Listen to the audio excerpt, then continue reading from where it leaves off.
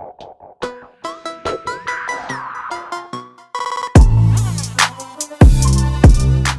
What's up, guys? Rick here with your betting and one and done preview for this week's Mayakoba Golf Classic. So, what we'll do is we'll look at outright bets for the week. We'll go through a handful of matchups and we'll talk about some options for your one and done leagues. This is the final PGA Tour event of the calendar year, but there will still be plenty of golf. There will be European Tour, uh, at least tool coverage. I don't know if I'll be making videos, but uh, while the European tour is going on, I'll have uh, the cheat sheet up, all that good stuff. And then uh, remember that we have a live chat on Wednesday, uh, 3 p.m. Eastern Time on the Rick Run Good YouTube channel for all your final questions, uh, weather, potential tee time information, ownership for DFS purposes, all that good stuff.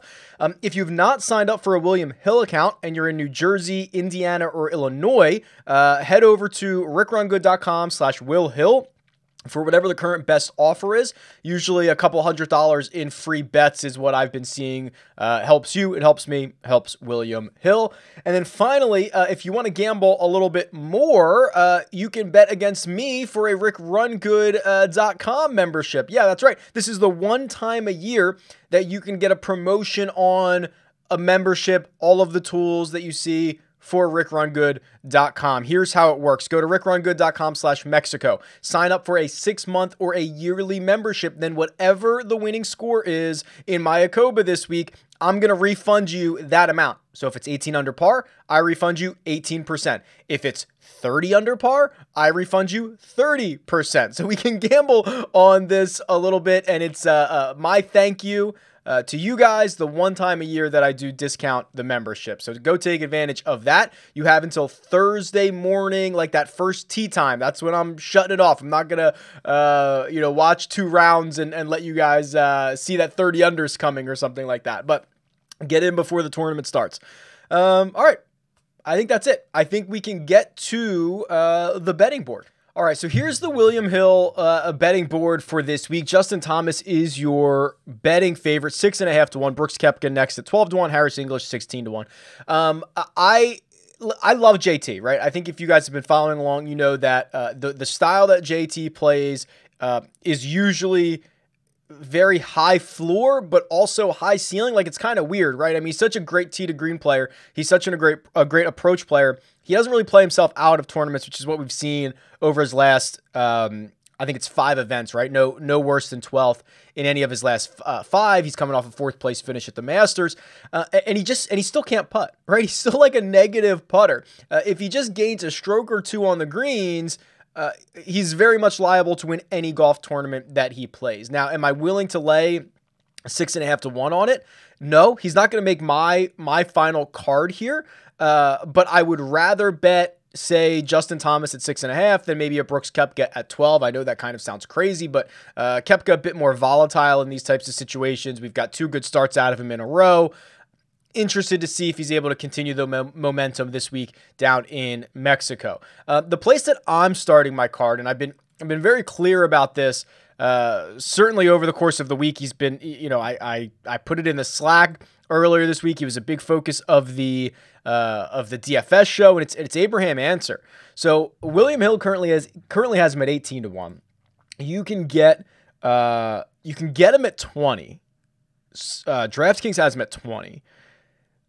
I got him at 22 when this thing opened up. Uh, so that's that's where I went to start my card, which by the way, in this offseason here, looking to create a lot more evergreen content around betting strategies and stuff like that. And, and one of the requests, and I think this is a great request, uh, was about like how to build a, a betting card, um, which I, I talk about a lot. Like I talk about my card a lot, but I don't really talk about the behind the scenes of it, how I came to these numbers, how I how I narrowed it down to this many guys. So um, that I, I will talk about that during the, the during the off season here. Uh, but Abraham Ancer leads my card, and and there's a lot of reasons why. I don't think I need to rehash them all. If you were watching the DFS video, if you've been paying attention, uh, you know El Camaleon is just a, a shorter course. Uh, you know we've seen so many short hitters, short but accurate hitters win here. Uh, you're talking about Brendon Todd, Matt Kuchar, Fred Funk, uh, Brian Gay is one here, right? I mean, it's just, it, it really does benefit the accurate drivers of the golf ball, which is what Abraham Ancer is.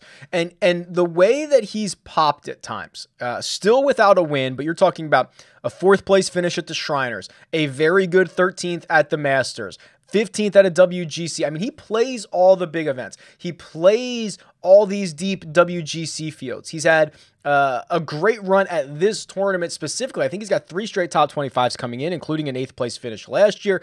It just, everything to me says Abe Ancer. And I think it says it to everybody too. And that's why the line has moved from uh, 22 down to 20 or 18 in some spots. So I, I, would probably wouldn't go any. I don't think it's going to get any lower than 18. I probably wouldn't go any lower than that. Uh, but Ancer is the top guy on on my card here. If you didn't want, uh, if you didn't want uh, Ancer, but you want you want somebody in that 25 range, Viktor Hovland's really appealing, and we're going to talk about Hovland, uh, especially in the one and done portion of this. But um, just real quick, has this been the most quiet? You know, run of top 15s recently. You know, 15th in Houston, 12th at the CJ Cup, 13th at the US Open. I mean, he's just piling up these top 25 finishes, and we're not really talking about it. And he's been great off the tee. He's been great from tee to green. He's been a great ball striker. Um, we're gonna we're gonna save him. We're gonna talk about him later in the one and done portion of this, but um, I do think there's something to guys who have a weaker short game getting on those paspalum greens that have a little bit of a longer blade of a little bit longer blade of grass um, sometimes it mitigates poor putting and that's where Viktor Hovland's lone PGA Tour win came was on paspalum greens. So um, he was someone that I that I that I feel pretty comfortable with. And, and I got to tell you you know there is such a benefit and, and of course this is obvious to seeing the betting board as soon as it comes out, right? I mean, I, have got I've gotten better numbers on basically all of these guys. Joaquin Niemann, uh, I have at 40. He's down to 33 in some spots. And again, if you're not, and I'm not a professional gambler, right? Like I'm not grinding ROI over the course of the year for this. So maybe I don't care about three points or five points or seven points, uh, but it's just nice to know you get a good number, right? Like that's just part of it. That's part of the part of the game, part of the research process, part of the fun is trying to get the best number that you can.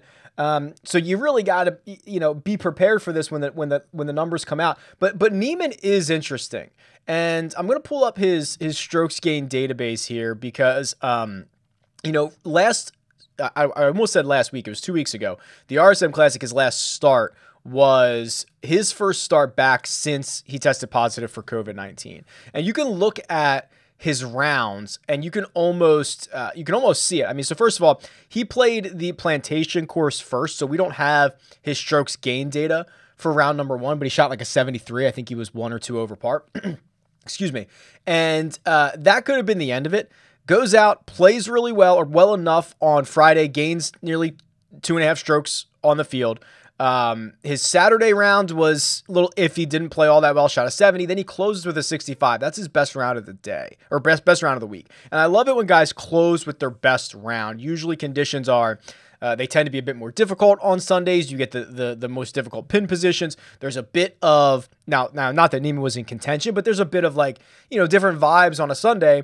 So when you go out do that, maybe you can carry that over into your next into your next start. I know he's been a winner on the PGA Tour, obviously. Someone to keep an eye out. I, again, I got him at 40. I see him at like 35 or 33 right now, starting to get into an area where he becomes very similar to like Rickie Fowler, like in, excuse me, in that 28 spot. So I don't think it's going to go any lower. Uh, but Niemann is certainly a name that interests me. And then there's a couple of guys even even further down. And um, you know, I've talked a bit about Brendon Todd this week, so I won't I won't rehash that. He's your defending champion. He's 50 to 1. He's been dealing with a broken toe. If you think that has been the reason that his results have been hindered a little bit, uh, if that's the reason, it's very easy to write that reason off. It's very easy to say, well, he's working through a broken toe. Now he's had an extra week of rest and he's been playing through it and blah, blah, blah. He didn't have to walk four rounds or whatever last week. Uh, this would be a good spot to pick up a Brendon Todd, who's your defending champion. I mean, I see him at 55. 55 to 1. Let me see what William Hill has him at. 45. I mean, DraftKings has him at, four, at 55, so you should probably head over there. Um, further down, uh, there was other a couple other names. HV3 is incredibly interesting. So Harold Varner III, um, For him, it's all about putting four rounds together. I'm going to show you his his strokes gain database here. and you're going to see a lot of impressive stuff and you're going to see some stuff that's like, "Oh man, this this is this is pretty terrible." So let me pull this up for you.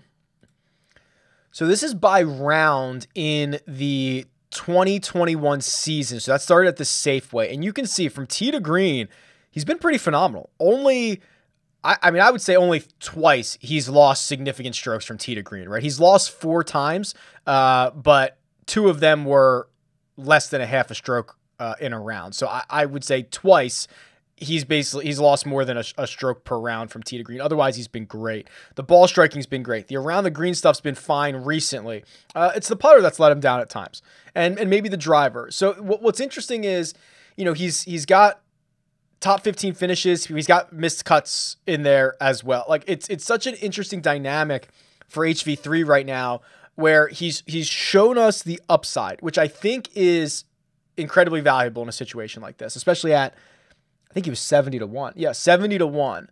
Um, does he have to get over the hump of a Sunday or being in contention? Of course he does. Has he put himself there a couple of times in the last year? Yes. Does he have to get over it? Yes. But uh, he has the game that pops. If he can do this for two, three, four rounds, he's going to find himself in contention. So it, it's so interesting to see a guy who has at least the upside at 75 or 70 to 1. Uh, it's a it's a bit shocking, quite honestly. I I, I like that. There's there's going to be a mental side of it, but I like it. And then if you're really trying to round this out with something deep, I mean, I've I've talked about uh, you know, Doug Ghim this week, 125 to 1. I've talked about um, uh, who was my other guy down here? Oh, oh, so Peter Malnati, like his top 10 number is 10 to 1. Uh, he's got a couple of top 10s recently. He played well, I think, for like 27 holes at the RSM Classic before kind of fading over his final two and a half rounds. But uh, again, now I'm down in a range where I want guys that can actually pop. Like I don't care if the if if uh, that's a bad example. I was going to say Brian Gay. That's a bad example. I don't care if Aaron Wise finishes 42nd 10 weeks in a row. That is of almost zero value to me, right? You're never gonna you're never gonna get paid off on a win. You're never gonna get paid off on a top five. You're never gonna get paid off on a top ten. Um, you just never get paid on that. And and he's playing fine. You just never get paid on it. I'd rather a guy like Peter Malnati who is going to give you a runner up. He's going to give you a fifth place finish. He's going to crash and burn three times. Like, I'd rather have that because at least I'm getting paid 10 to 1 on the weeks that he finishes in the top 10. So there's just different styles of golfers down here. Uh, Malnati, Ghim, those would be guys I'd be more interested in than some of these other fine players that are just, you know, more more consistent. Um, okay heads up or uh, heads up head to head matchup simulator so let's head over to this tool so this is a tool on rickrungood.com obviously uh, where you can pit any two golfers against each other for any time period in the last like six years and you can see who is more likely to win a four round matchup. I love this tool. I'm going to change the time frame to be the start of the 2020 season and I've been I have a matchup circled uh, that I've just had my eye on that I can't wait to get in here. It's Abraham Ancer versus Daniel Berger. I absolutely love. I have no idea who is going to be the favorite in this. Wow, I guess I should have realized that. So here, here's I have Daniel Berger winning this 66% of the time. That's a massive number. Okay, I have his money line. It should be about minus 198. He's currently minus 112 right now. So Berger, and it makes sense, right? Berger's had an unbelievable 2020. Um, I think that maybe the fact that they, these odds for Ancer, as much as I love him this week, as much as others love him this week, it's really steamed his number up. And he's getting a lot of credit for the course history. I think Daniel Berger is being uh, penalized a bit because we haven't seen him since the Zozo Championship, right? I mean, that's the last time we saw him. Didn't play the Masters. Um, didn't tee it up at RSM or anything like that. So he, he's he's just kind of forgotten by the market at this point.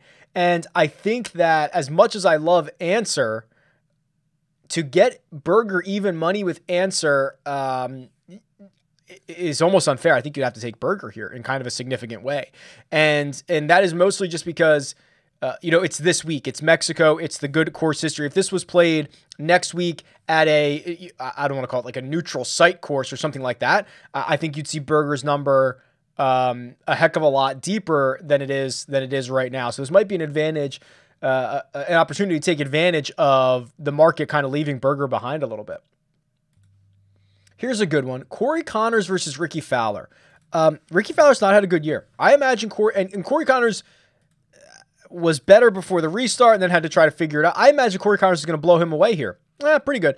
55% on Corey Conners. Uh, and you can see even more recently, like if we change this date range, and I would never do this uh, uh in reality, right? And I would never take this data seriously.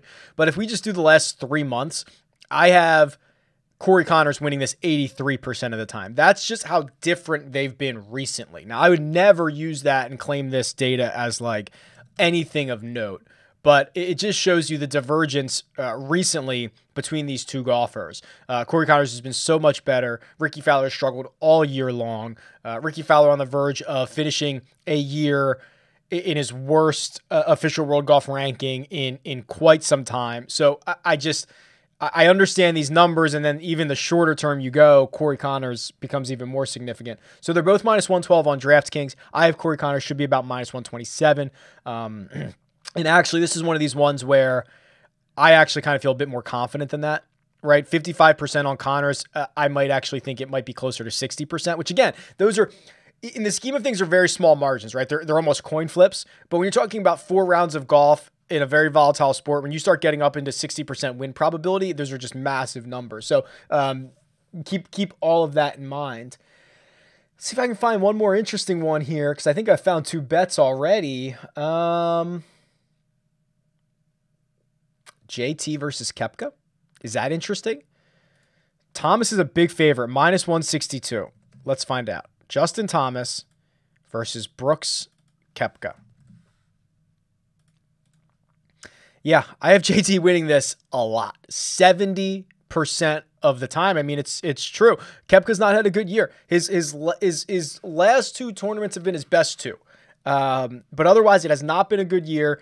JT has uh, basically lapped him from day one. They've never crossed. So, so the way that I have this running strokes gained uh, chart going, like they've never crossed over one another. The entire year, uh, Justin Thomas has been uh, fairly significantly better than than Brooks Koepka. I have uh, JT at two minus two thirty four.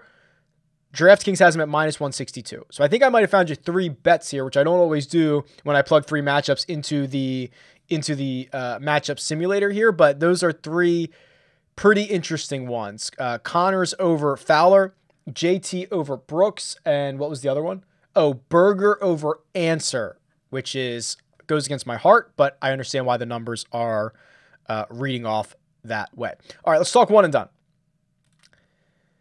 The run good one and done is full steam ahead. I've added a rank column to the um, to to the standings here. I, I might have to adjust that. That's kind of very beta right now. I'll have to adjust this. But right now, as of this moment, heading into Mayakoba, Brandon K9 has a very small edge over a storm of Shanks, but there are one, two, three, four, five, six guys between 4.6 million and 4.4 million. Uh, the two that I mentioned, then Swarm 19, Rex Grant, Logan Dempsey 20, and Brewer Jim are all just, I, I, mean, neck and neck. And obviously, there's a lot of tournaments to be played, but it is bunched at the top at the moment. So, congrats, good, uh, good picks to those guys. Hope you can keep it going this week. Um, and then for this week. So, what do we have? You know, Mayakoba, we do have some course history guys. Um, you know, we've got defending champion Brendon Todd. We've got um, Russell Knox has been good here. I think that, and I'm and I'm certainly not alone in thinking that Abraham Ancer will probably be one of the most popular one and done picks. He'll probably be one of the most popular um, uh, plays on DraftKings or, or, whatever daily fantasy site that you're playing on. Uh, certainly it is an Abe Ancer week. There's probably no other place you want to use him, right? Uh, I mean, I would say unless you're going to save him for, well, it depends on what your one and done is. I, assume, well, if you started with me at, uh, when did we start? The restart? Did we start at the restart? Safeway. 20, we started at the new season. So that means we still have like RBC Heritage, is what I was trying to get to, right? A short course that rewards uh, good drivers of the golf ball. So, like, that's the, really the only other place I could consider Abraham Ancer uh, that I want to hold on to him. And, you know, maybe I'm holding on to Webb there. Maybe I'm holding on to. I mean, there's a lot of guys that could that could play there, and we're a, a year out from it or nine months out from it, something like that. So I, I'm not too worried about it. Um, the the the interesting pivot option, which I I mentioned, is Viktor Hovland. This is the really interesting one. You know, he has proven to be fairly safe right? I mean, he hasn't missed a cut in the restart. I think he's played 16 times. He's got a bunch of top 20s, he's got a bunch of top 15s recently. He his only win came on Paspalum greens, which he's going to get. And you only get Paspalum greens like, what, three times a year? I think you get him at uh, Punta Cana. You get him at Puerto Rico. I think you get them in Bermuda as well. So maybe you get them like four times a year. And um, so the, here's your chance. Here's your chance to go back to Viktor Hovland. Uh, I, I don't think I'd be burning a stud here, right? I don't think I'm playing JT or Koepka or I, I mean even Harris English. Harris English, you know, we saw it, we saw what he can do, what he can contend. So I'm just trying to find guys that are good fits for this week. So I, I've narrowed it down to Hovland, Ancer, or Todd. Those are the three that I would be most excited about rolling out. Uh, they are all should be good course fit guys. Obviously, Todd is. He's won here before. Uh, the latter, and I think I think in popularity they'll go like this: Ancer will be the most popular, Hovland, and then Todd would be third. So you can kind of have a uh, a grab bag, a pick of uh, uh, that you will uh, for for this week, depending on what kind of ownership you want. Okay, that'll do it. Join me on Wednesday, 3 p.m. Eastern Time, live chat for Mayakoba, Rick Run Good YouTube channel. Go to rickrungood.com slash Mexico to get the once a year gamble promo for rickrungood.com. Whatever the winning score is at Mayakoba, I will refund you that percentage uh, of your membership for a six month or a yearly one time offer. Be in by Thursday morning. Uh, otherwise, that's it. Best of luck this week. Let me know who you're taking in one and done. Tweet me at Rick Run Good or leave a comment below. I will uh, talk to you guys soon.